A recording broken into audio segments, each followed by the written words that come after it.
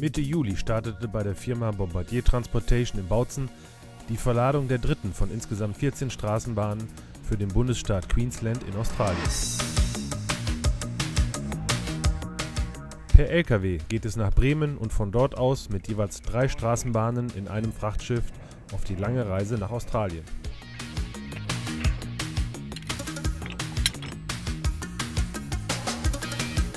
Millimeter um Millimeter wird die fast 60 Tonnen schwere Straßenbahn per Seilwinde auf den Anhänger gezogen.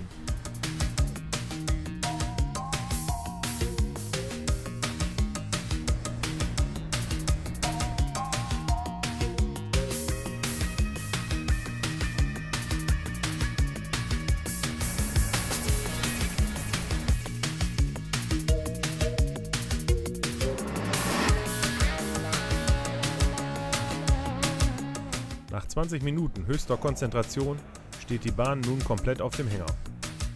An den speziell angefertigten Befestigungsbolzen können nun die Schwerlastketten angebracht werden, um eine vorschriftsmäßige Ladungssicherung zu gewährleisten.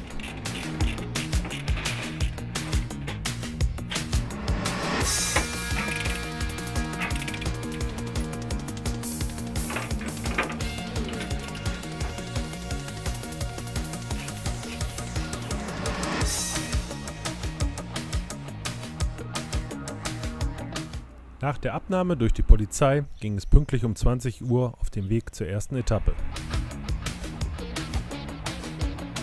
Für den Lkw-Transport wurde eine Vierachs-Zugmaschine mit einer Anhängerkombination gewählt. Aufgrund der Platzverhältnisse und eingeschränkten Kurvenradien in den Städten wäre die Fahrt mit einem Sattelauflieger bei dieser Gesamtzuglänge von fast 54 Metern nicht realisierbar gewesen.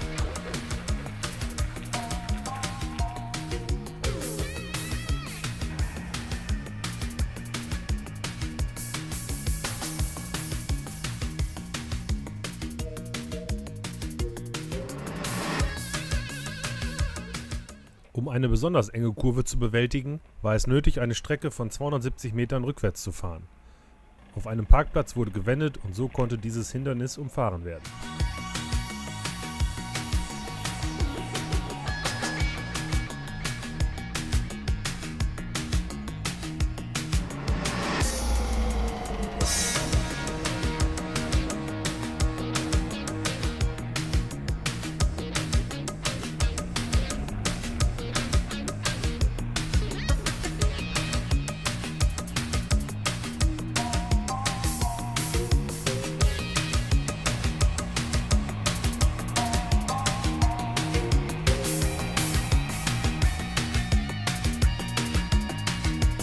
Ohne weitere Probleme konnte dann nach knapp 6 Kilometern die Autobahnauffahrt zur A4 erreicht werden.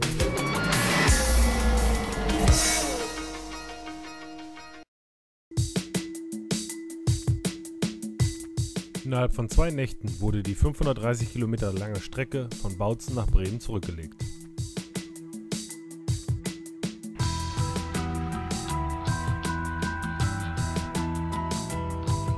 Um 1 Uhr nachts in Bremen angekommen, wurde der LKW von der dortigen Polizei in Empfang genommen, um ihn die letzten Kilometer bis zum Hafengelände zu begleiten.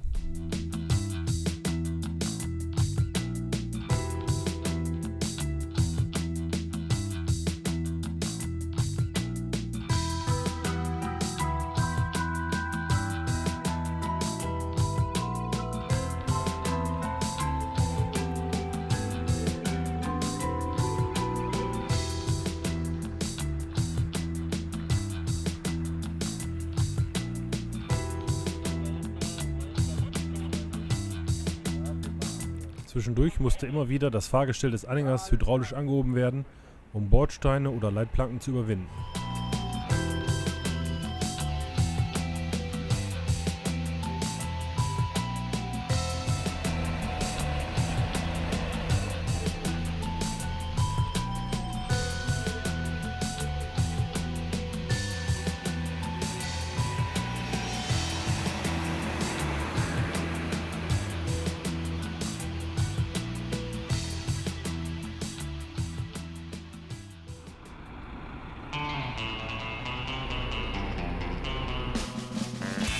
kurzen Nacht begann sofort am nächsten Morgen das Abladen der Straßenbahn.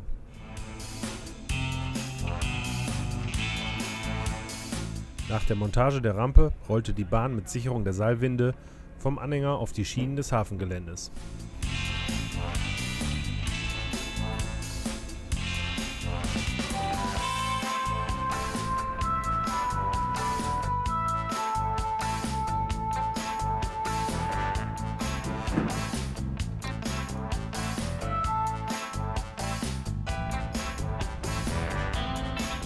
Einige Tage später legte die Rubina an, ein 127 Meter langes Frachtschiff, das die Straßenbahn direkt nach Brisbane bringen sollte.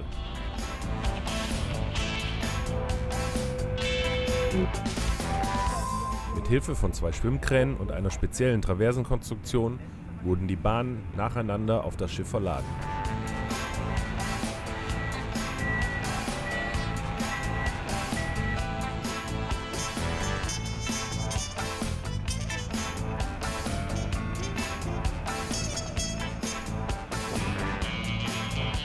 Wieder kamen extra angefertigte Bolzen für das Hebegeschirr zum Einsatz.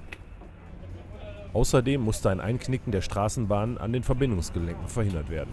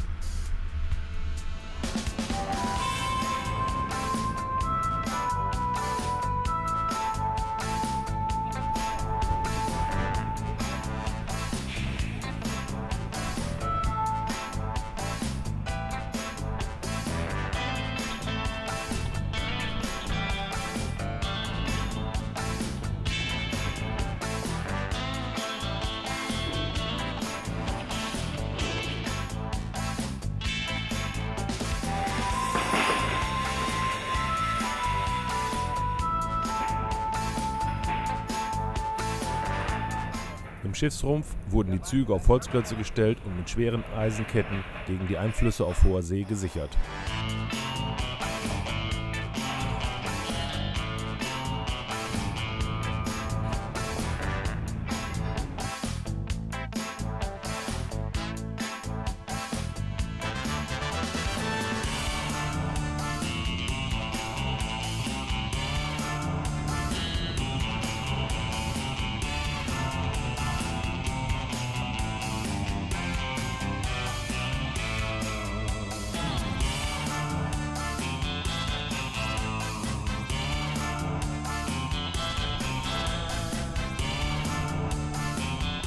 Gegen Mittag waren dann alle Bahnen ordnungsgemäß verladen und wenig später konnte die lange Reise nach Australien beginnen